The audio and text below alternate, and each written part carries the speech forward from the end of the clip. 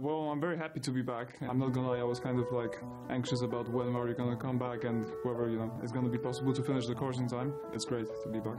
Super Shorts are pretty much the first professional like films that we do on the diploma course. Uh, they're shot on film and uh, they, you know, are very short as the name suggests. Just as a part of the group, uh, we all try out different roles. All of us have a chance to direct and uh, also write uh, our own shorts. So I think it's challenging, but I think it might be a good experience to kind of see the pressure of shooting on film. You know, you don't have the luxury of infinite takes, which I learned kind of the hard way on my shoot, but you adjust to it. And I think a lot of people are wondering whether they want to go into the industry or whether they need a film school because that's a big question. Like I think at the end of the day, if you don't get much hands-on experience, you might find yourself lost when you finally show up on the set.